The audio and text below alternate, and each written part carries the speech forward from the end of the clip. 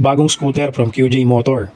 160cc, single overhead cam, 4 valves, EFI, hybrid assist, with GPS and phone mirroring, Bluetooth, TFT display panel, dual ABS channel, with TCS, inverted front suspension, dual sub-tank suspension, adjustable rebound, adjustable brake lever, handbrake, adjustable windscreen, high rate battery 12 volts 14 amps, rim set tubeless, dual sport tires.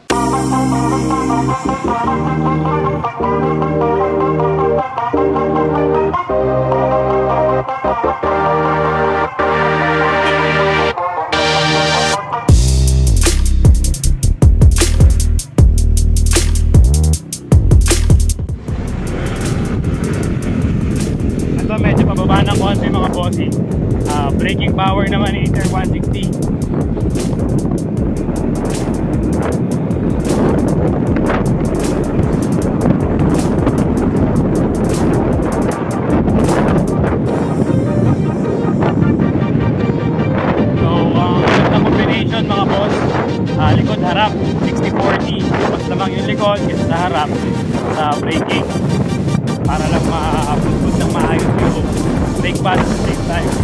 Hindi rin ma-abuso yung harap or likod. 60-40 lang mas magandang combination. So since yung 8 160 natin, medyo aggressive yung brake, brake niya sa likod.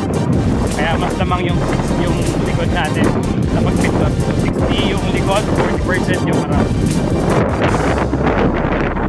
Yun mga boss, so yun yung ating braking system na ginagamit dito sa ATR 160. So depende yan, iba-iba tayo ng preference pero mas effective kasi yung 60-40 braking system sa ATR 160 dahil na ramdaman ko and naobserbahan ko throughout na paggamit ko sa kanya is mas aggressive talaga yung likuran na preno. Sabi din sa kasa, yun ang feedback ng unang-unang mekaniko na nagkaroon ng ATR 160. Medyo malakas yung preno sa likod. So kaya ginagawa ko, pinapantay ko lang yung smoothness niya by using 60-40 uh, theory which is 60% yung pindot sa likod then 40% yung nasa harap. Yan, tapos share na din natin dito kung paano tayo maghugas ng mga motor natin. Itong si ATR 160 tsaka si GT400 from CF Moto. So basic lang naman mga bossing, lagi ko lang tinatakpan yung mga wirings and yung mga sensor nila. Yan, so parang tinatakpan ko lang ng basahan. Tapos yung pressure washer, ang buga ko lagi pababa, hindi laging patusok sa mga wirings. So ilang beses na ako nagka-car wash ng uh, big bike tsaka ng scooter na to, lagi lang pababa, pababa yung buga ko ng ano ng pressure washer kasi pag medyo naka-pointed talaga sa mga wirings yung pressure washer, may tendency pasukin yung mga sensor at medyo masira yung mga wirings. Ngayon, para mahugasan ko o mapunasan ko yung banda dun sa mga wire, kumukuha lang ako ng basahan na malinis, binabasa ko. Then, maliit na brush. Yun, yun lang ang way ko na panlinis dun sa mga malapit sa mga wire at mga sensor. Para hindi direktang ah, water pressure yung tutusok or yung mababasa dun sa mga wiring and sensor. Lalong-lalo na dyan sa may taas ng manibela yung pagitan ng TFT. So, meron dyan, di ba, ah, parang butas. Nakitang-kita mo yung mga wirings yan no, sa taas. So, yan, tinatakpan ko lang ng basahan yan. And then, ah, kapag binabasa ko na siya ng pressure washer, hindi yung malakas which is yung parang parang sprinkler lang ang ah, pressure niya para din yung mga buttons niya eh, hindi mapasukan directly nung tubig. Tapos yun lang, punas-punas lang ng malinis and then after that, yung brush na maliit. O baka sabihin nyo na naman kasi China kaya bawal mabasa yung mga wirings. Ah, hindi po. Miski po dun sa big bike ko na Honda na ah, CB400 tsaka yung Kawasaki Zipper ko na big bike din before, in-advise din sa akin ng magaling na mekaniko yon sa Manila tsaka sa taga Pasig na kapag magka-car wash ka sir, huwag laging patusok or papunta ron sa wirings. Laging pababa yung yung ah, water pressure para hindi pumasok yung tubig directly sa mga ah, wirings tsaka dun sa mga adapters and nasira yung mga sensor. So ganun talaga sa mga big bike and sa mga ibang motor, lalong lalo na expose yung ibang wirings nila. So, unless malubog ka sa sobrang baha ng matagal and nakastart yung motor mo, talagang magkakaalaman, 'di ba? So, hindi pa naman nangyayari sa akin 'yon. At wag naman sana at hindi ko rin naman ilulusob yung motor ko kapag ganun kataas yung baha. Pero yun din po, uh, whether kahit anong brand ng motor, kapag talagang dinirect mo yung pressure washer dun sa mga wirings, may possible na hindi gumana dahil mababasa talaga yung mga sensor niyan. Yan, so 3 months update tayo dito sa ating unit na ATR 160. Uh, this is vlog ni Kosa. Uh, first batch po tayo na nakakuha ng ATR 160 from QJ Motor. And uh, based on my observation sa daily ko na gamit dito sa bahay and sa pag-ride-ride sa DRT and uh, sa mga pataas, paahon and napakaraming lubak dito sa area ko.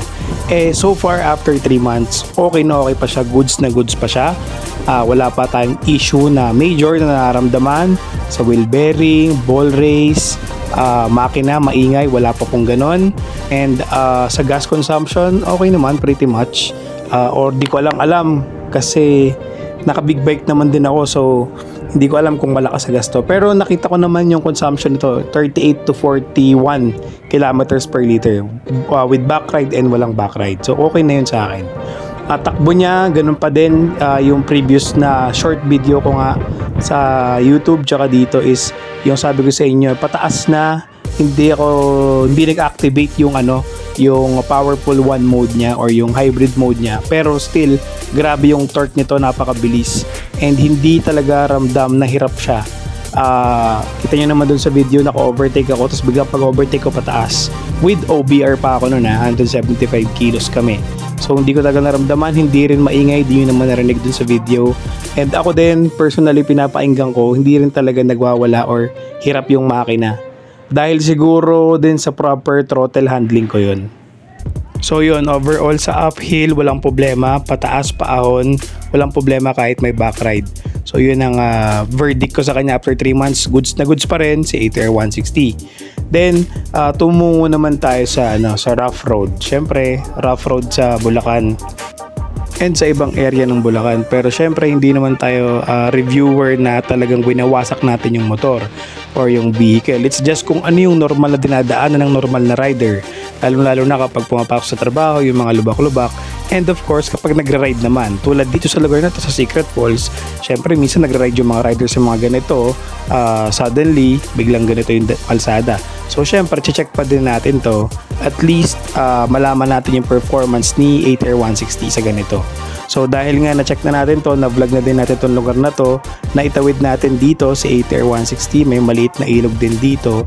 And napakabagal lang po natin dito kasi hindi naman po ata tama yung mabilis ka sa rough road.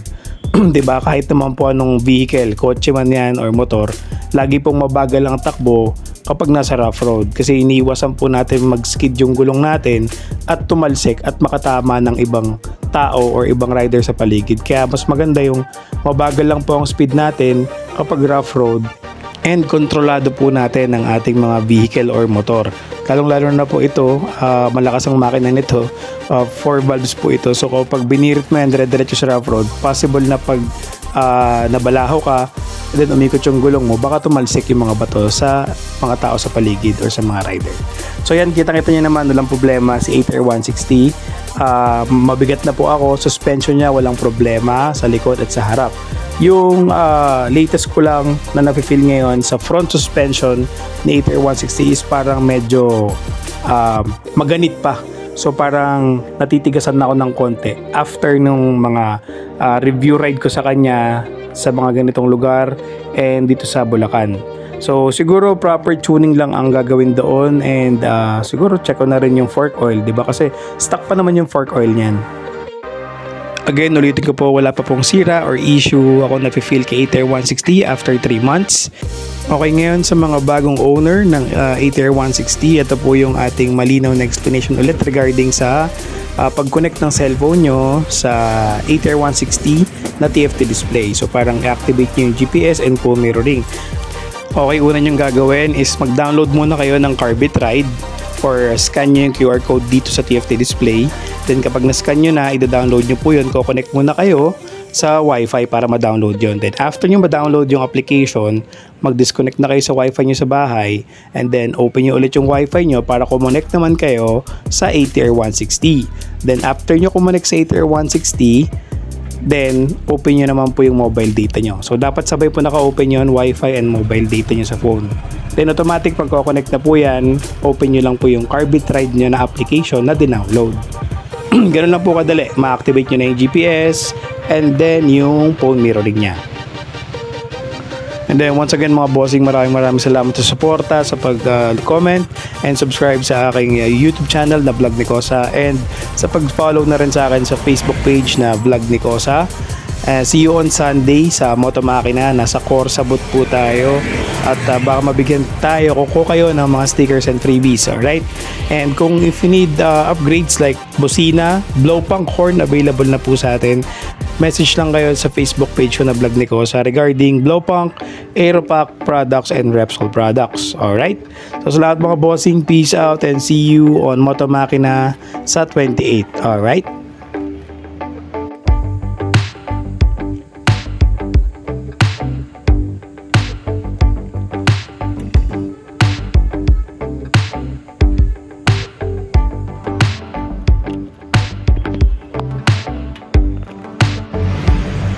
Yan, so once again, the new futuristic adventure scooter from QJ Motor ATR 160.